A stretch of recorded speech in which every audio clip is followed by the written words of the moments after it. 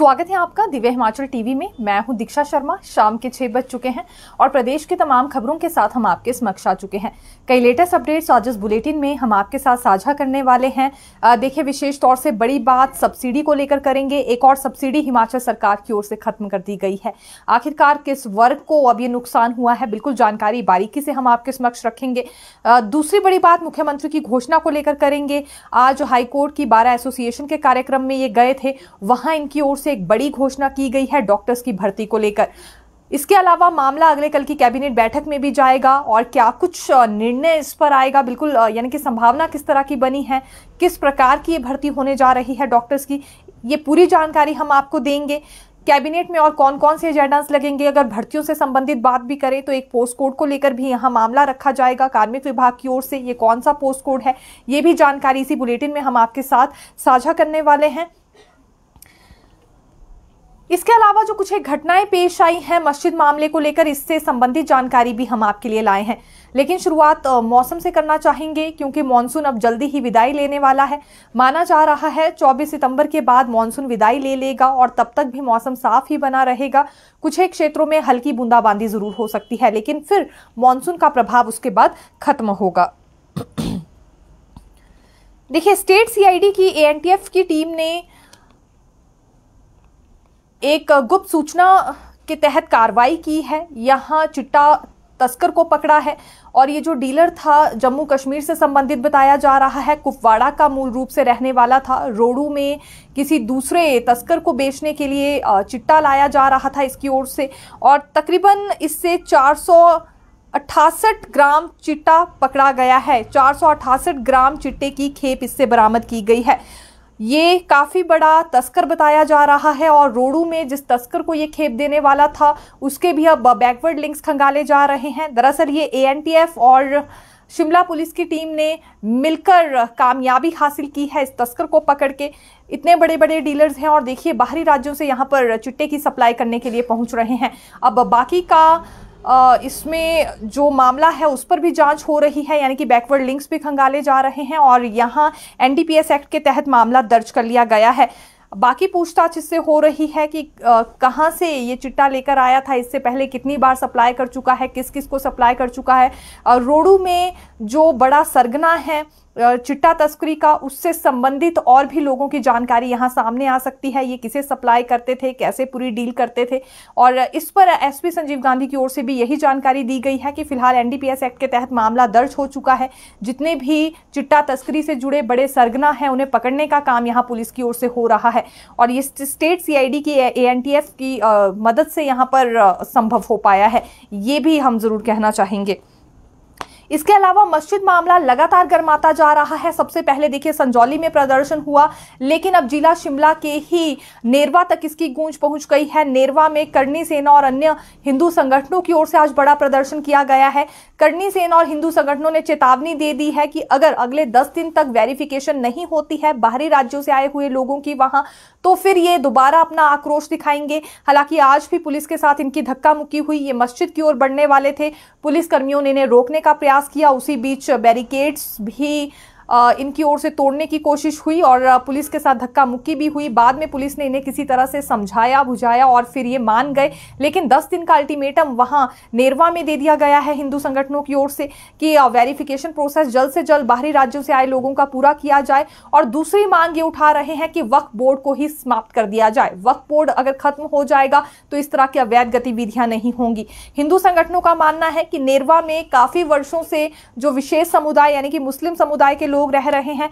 उन्होंने हमेशा ही आपसी भाईचारा बनाए रखा। उन्होंने कभी भी ऐसी अवैध गतिविधियों को अंजाम नहीं दिया और उनके साथ कोई झड़प भरा मामला भी आज तक वहाँ सामने नहीं आया है। लेकिन जो कुछ वर्ष पहले ही या कुछ महीने पहले ही बाहरी राज्यों से यहाँ कुछ लोग पहुँच गए हैं और विशेष समुदाय के हैं, ये माहौल को बिगाड़ने की कोशिश कर रहे हैं। आपसी भाईचारा रखना दूर की बात है। ये मारपीट और रेप जैसी घटनाओं को वहाँ पर अंजाम दे रहे हैं, जिसे सहन नहीं किया जाएगा। इसीलिए अगले दस दिन में वेरिफिकेशन प्रोसेस पूरा किया जाए, ये नेरवा में लोगों की ओर से चेतावनी दे दी गई है। लेकिन बड़ी मांग देखिए, इसमें क्या उठाई गई है कि जो वक्फ बोर्ड है, उसे खत्म किया जाए। हालाँकि ये मांग अब हर जगह ही उठने लगी है। फ़िलहाल अगर हम सिरमौर की भी बात करें, वहाँ भी कुछ हिंदू संगठनों की ओर से यही अल्टीमेटम दिया गया है कि जल्द से जल्द वक्फ बोर्ड को समाप्त करने पर फैसला लिया जाए।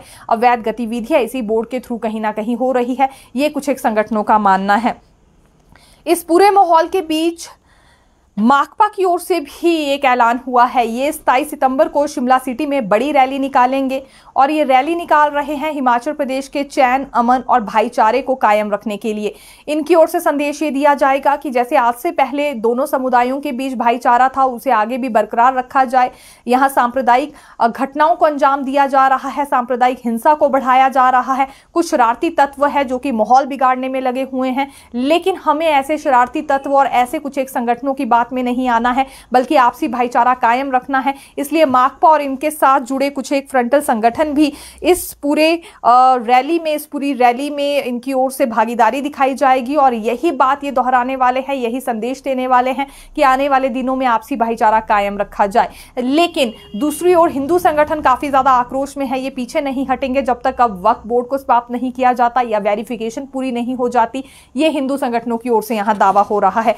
अब देखिए, माहौल इस तरह तरह का बन गया है कि विशेष समुदाय के लोग दिल्ली जा पहुँचे हैं, जहाँ इन्होंने कांग्रेस के राष्ट्रीय नेताओं से मुलाकात की है। केसी वेणुगोपाल से विशेष समुदाय ने वहाँ मुलाकात की और साथ ही साथ कांग्रेस अल्पसंख्यक मोर्चा के राष्ट्रीय अध्यक्ष इमरान प्रताप गढ़ी से भी मुलाकात की है।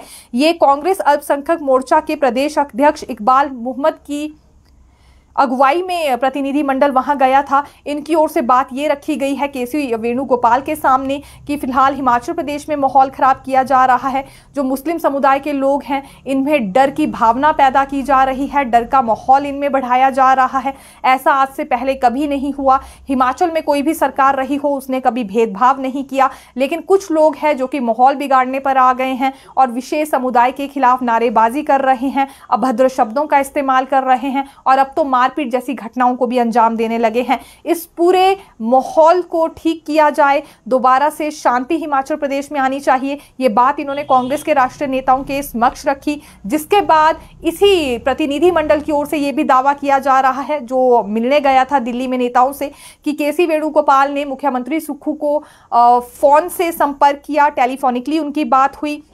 और सीएम सुखू को उन्होंने ये सभी घटनाएँ खत्म करने के लिए कहा है।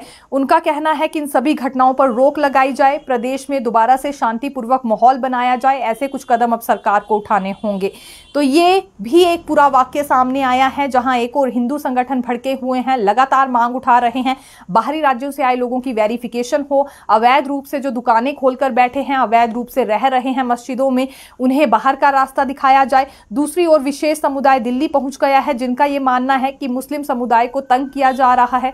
और उनमें डर का माहौल पैदा किया जा रहा है। लेकिन बड़ा सवाल ये है कि जो वक्फ बोर्ड को लेकर मांग उठी है, क्या हिंदू संगठनों की ये पूरी हो पाएगी?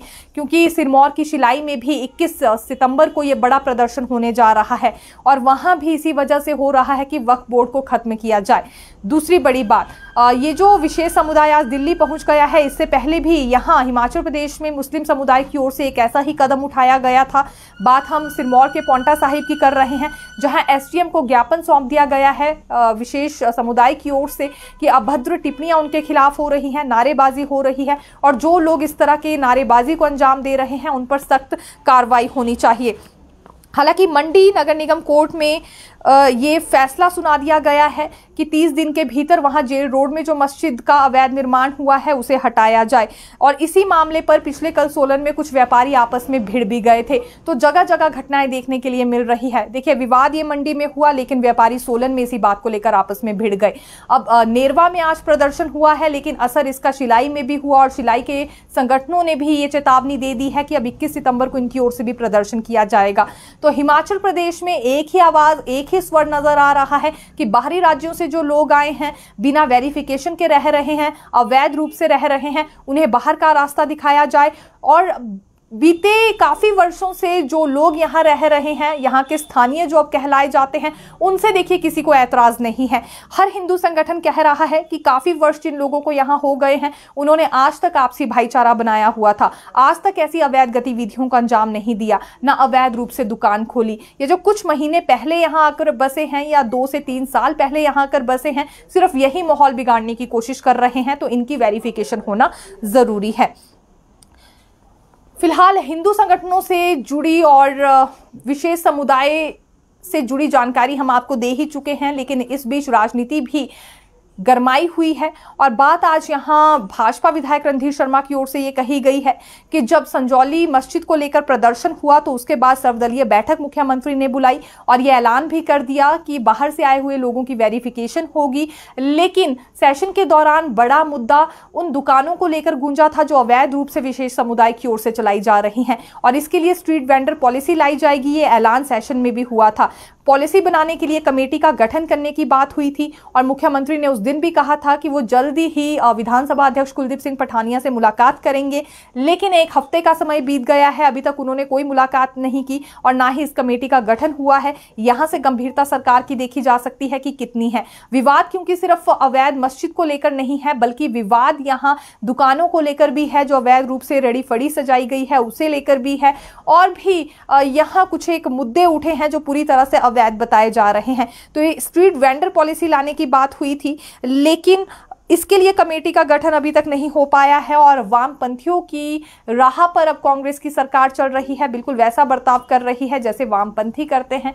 उनकी विचारधारा कांग्रेस ने अपना ली है, ये भी आज भाजपा विधायक रणधीर शर्मा की ओर से बड़ी स्टेटमेंट दी गई है।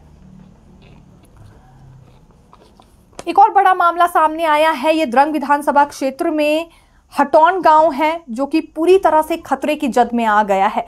दरअसल मंगलवार को जब तेज बारिश हुई तो सड़क के बीचों बीच वहाँ गड्ढा पड़ गया था। हटौ, हटौन गाँव का ये मुख्य मार्ग है, जहाँ बड़ा गड्ढा सड़क के बीचों बीच हो गया है और 24 घंटे के भीतर इस गड्ढे का आकार और ज़्यादा बढ़ गया है। लेकिन लोग लोग इस वजह से घबरा रहे हैं, क्योंकि जो गड्ढे से मलबा गिर रहा है, वो सीधा टनल के भीतर जा रहा है।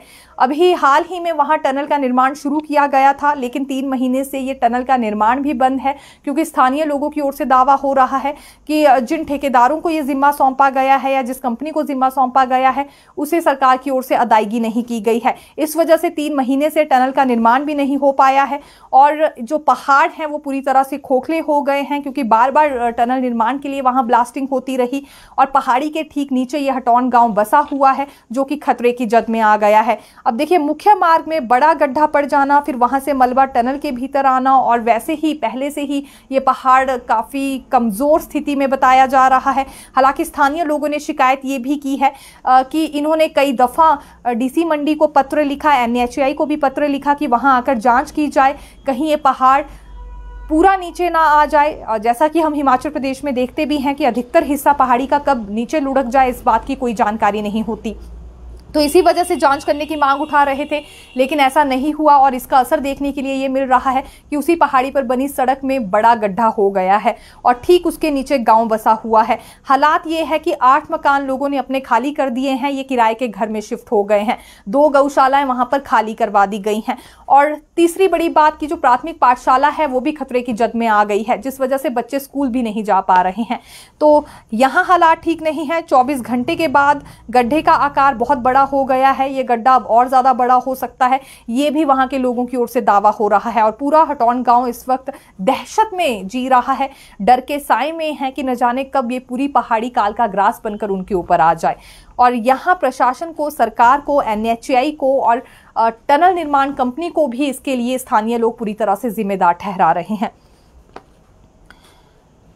कल पेंशनर्स की ओर से बड़ा प्रदर्शन किया जाएगा। ये उपायुक्त कार्यालय के बाहर एकत्रित होने वाले हैं। तीन बड़ी डिमांड्स को लेकर। एक तो ये कि इन्हें महीने की पहली तारीख को ही पेंशन चाहिए, जैसे कि पहले मिला करती थी। दूसरी बात ये, इन्हें कब तक अपने डी एरियर का इंतज़ार करना होगा, जल्द उसकी अदायगी की जाए। तीसरी बड़ी बात इनकी ओर से ये रखी जा रही है कि साठ, पैंसठ, सत्तर और पचहत्तर वर्ष के बाद जो पेंशन में वृद्धि होती है, उसका भुगतान भी इन्हें दिया जाना चाहिए। मेडिकल बिलों तक का भुगतान इनका नहीं हो रहा है। तो कब तक इन्हें इंतज़ार करना होगा? अभी और ज़्यादा संयम नहीं रखने वाले हैं, इसलिए अगले कल उपायुक्त कार्यालय के बाहर प्रदर्शन करेंगे शिमला में। और सिर्फ़ शिमला में नहीं, बल्कि ऑल ओवर हिमाचल में जिला मुख्यालय में इनकी ओर से प्रदर्शन होने वाला है। ये इंतज़ार कर रहे थे कि सरकार इन्हें वार्ता के लिए बुलाएगी, लेकिन जब ऐसा नहीं हुआ तो अब इन्होंने कॉल दे दी है और हर जिला मुख्यालय में कल पेंशनर्स गरजने वाले हैं। बात सिर्फ़ पेंशनर्स की नहीं है बल्कि बेरोजगार युवा भी कल सचिवालय के बाहर पहुँचेंगे। ये वो बेरोजगार हैं जो नई भर्तियों का इंतज़ार कर रहे हैं। इनका कहना है कि तकरीबन 6,500 के पद आ, के करीब पद यहाँ स्वीकृत किए गए थे सरकार की ओर से, लेकिन अभी तक नहीं भरे गए हैं, क्योंकि राज्य चयन आयोग का गठन ज़रूर कर दिया गया। बहाल नहीं हो पाया है फंक्शनल नहीं हो पाया है। आखिरकार कितना ज़्यादा समय इसमें और लग जाएगा? राज्य चयन आयोग अभी तक फंक्शनल इस वजह से भी नहीं हो पाया है, क्योंकि शपथ ग्रहण ही नहीं हो पाई है अध्यक्ष और दोनों सदस्यों की।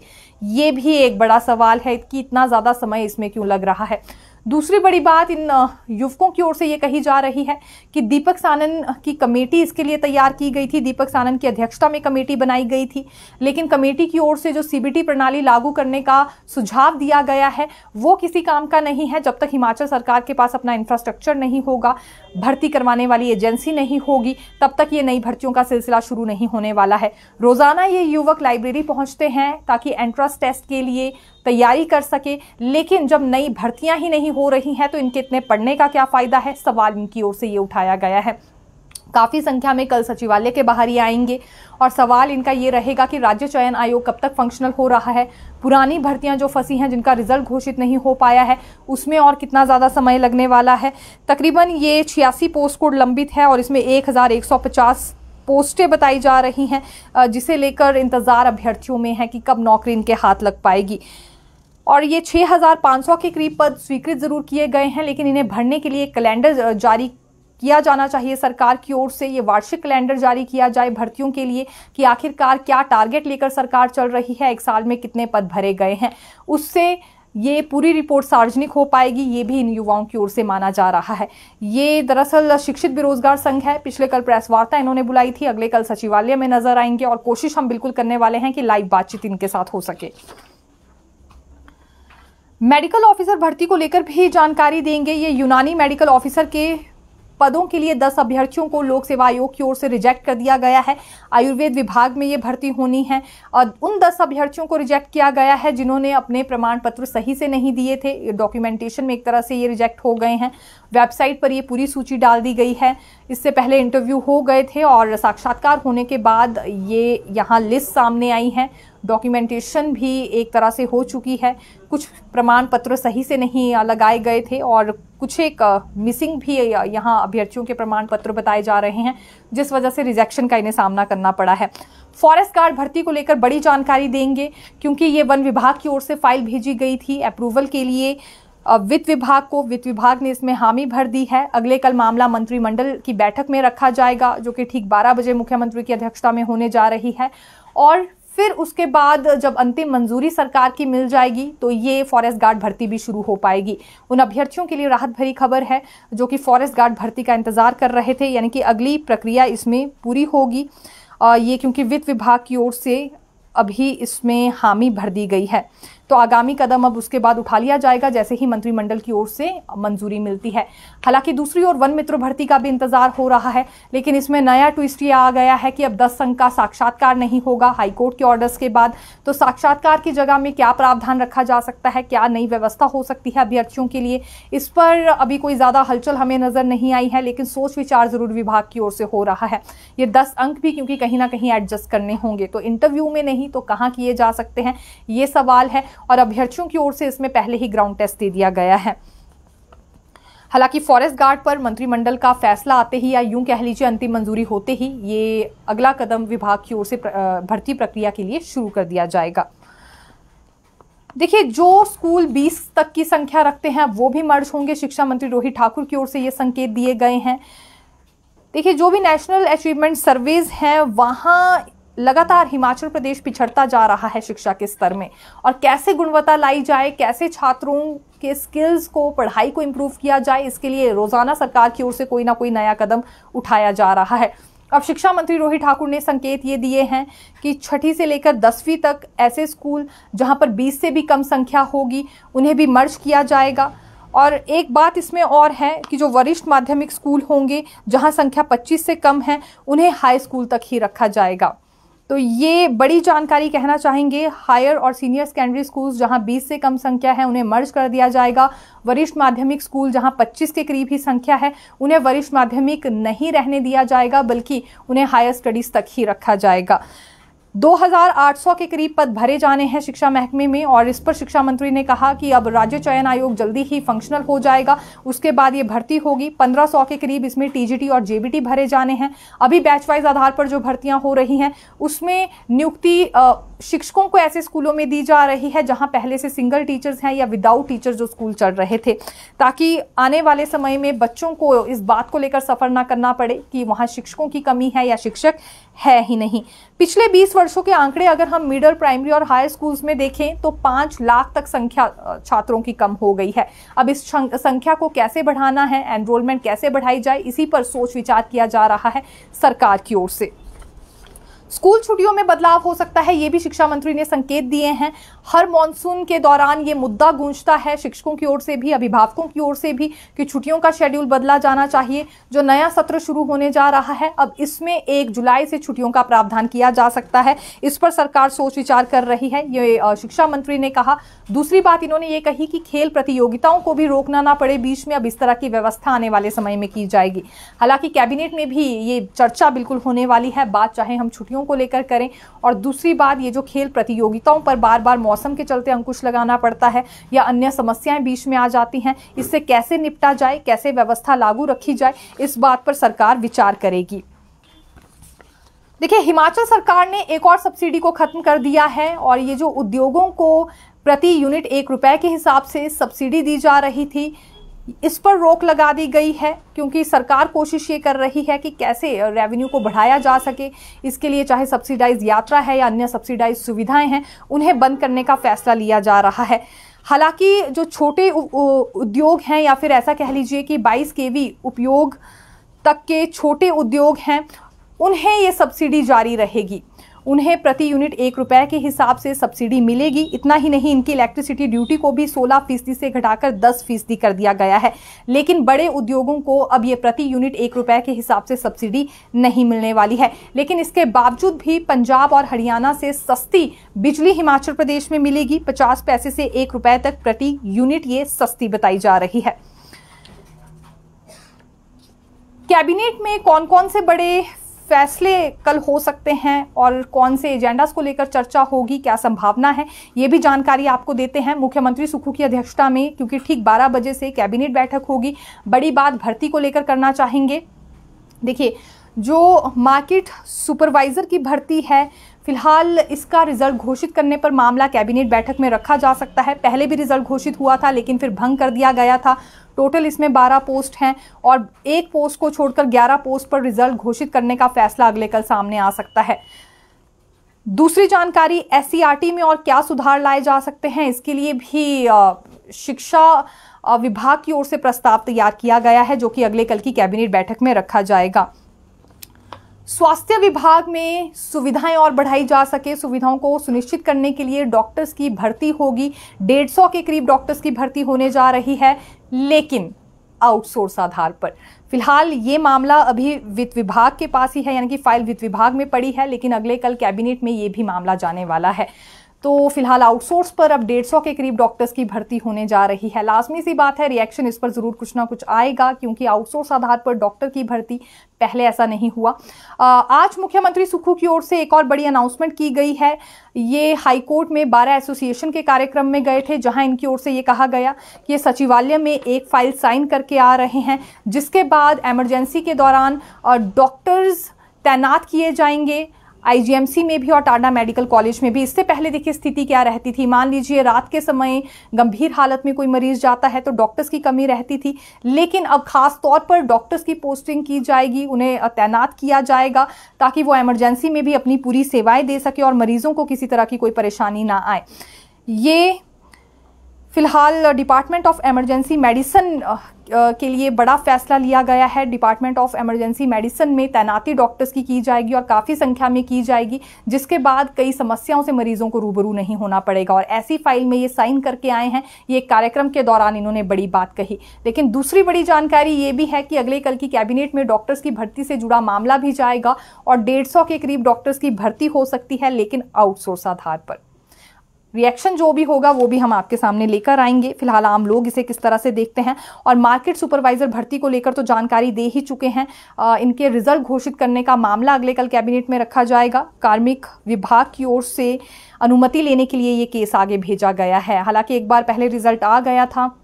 लेकिन इसमें फिर एक कल्प्रिट पाया गया था जो कि उमा आज़ाद का बेटा है नितिन आज़ाद जिस वजह से मामला बिगड़ गया था। आ, बाकी की 11 पोस्ट पर अब रिज़ल्ट घोषित किया जा सके इस पर चर्चा होगी और राहत भरा फैसला भी अभ्यर्थियों के लिए निकलकर सामने आ सकता है।